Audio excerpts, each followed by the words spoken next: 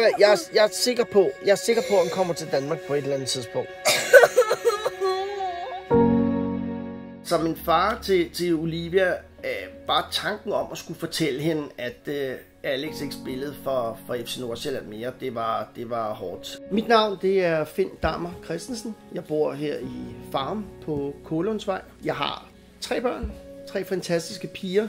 Vega på 5 år, Olivia på 9 og Amelie på 10. Olivia, hun elsker fodbold. Øh, hun elsker alt omkring fodbold, lever og ånder fodbold. Hun spiller selv. Øh, Hun spiller på Farms Uni pigehold. Det er hver weekend, de udspiller kampe og turneringer.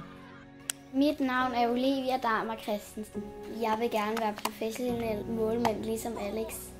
Jeg kan godt lide at se FCN, og jeg bor rigtig tæt på øhm, deres stadion, så jeg ser alle kampe. Da Timber og Alex ringede på døren, og Olivia hun åbnede, der blev hun simpelthen så overrasket. At stå foran sit, sit store idol, det var jo bare en helt fantastisk oplevelse for hende, og noget, som hun helt sikkert vil bringe videre. Hvad tror du, din største drøm er? At du træner mig hver dag til målmand. Altså, jeg træner hver dag til målmand. Et grande nouvelle pour le DFCO cet été dans le marché des transferts après avoir signé Alex Runason, gardien du FC Nordsjælland et équipe nationale d'Islande. Bare tanken om at skulle fortælle hende, at Alex ikke spillede for, for FC Nordsjælland mere, det var hårdt. Er det virkelig sandt? Første gang jeg fandt ud af, at øh, Alex han skulle skifte hold, så var jeg bare sådan, jeg blev rigtig, rigtig, rigtig ked af det, og jeg ville bare gerne have, at han skulle blive, fordi han var så god målmand. I ugerne efter, at hun havde fået nyheden om, at Alex han var stoppet, der var hun en meget bedrøvet pige, og vi fik nogle gode snakke om det, og specielt det her med, at FC Nordsjællands værdisæt er grundlagt på at få solgt spillere og øh, få købt nye og få opfostret nye talenter. Det begyndte også at gå op for hende, at det, det er sådan øh, fodbolds forretningsside ser ud. Hallo, hallo. Hej Olivia. Hvordan går det? Det går godt. Jeg så lige et uh, video, som din far. Det så ud som du ikke var så glad for, at jeg er skiftet til Frankrig. Nej. Kunne du så ikke bare tænke dig at komme ud og, og måske se en kamp? Synes du ikke, vi skal gøre det? Og så kunne vi mødes efter kamp. Kunne du ikke være sjovt? Skal jeg gøre det? Bonsoir messieurs, dames et bienvenue à Dijon au stade Gaston Gérard pour le match de la semaine, le DFCO contre l'Olympique lyonnais.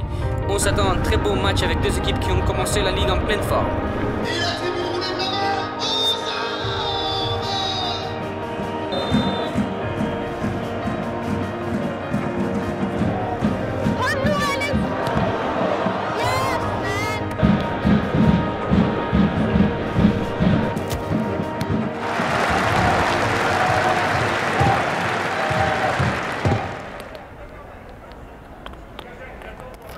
Jeg kan ikke. Den kommer lige der. Shit. Hej Olivia, har det godt? Ja. Kan jeg lige få en kram? Nej, jeg en set. Jeg har lige en, øh, en lille gave til dig. Det er den trøje, jeg lige har spillet i. Ej, er det? Det er det, du kan se, den er stadig Altså, den er beskidt. Jeg tror, det er en god idé, hvis din mor vasker den først. Du Men må ikke vaske den. værsgo. Den er til Tak. dig. Jeg så lige et, øh, et video fra dig, som din, øh, som din far har Ja. sendt til mig. Var du ikke så glad for, når jeg skiftede væk fra Nordsjælland? Nej. Men altså, sådan er fodbold jo. Jeg har trænet sindssygt hårdt i Nordsjælland til at forhåbentlig få muligheden til at spille i et større hold i en større liga, og det var jeg så heldig, at jeg fik lov til at gøre. Det synes jeg også, du skal huske. Um, skal drømme stort. Jeg vil bare gerne sige til dig også, sindssygt stort tak, fordi du følger mig hele vejen til Frankrig. Du ved godt, jeg stadig kan være din, uh, din rollemodel, når jeg spiller her. Ja. Du skal bare lige vide, at jeg kommer igen. Altså, det er ikke sidste gang, det her.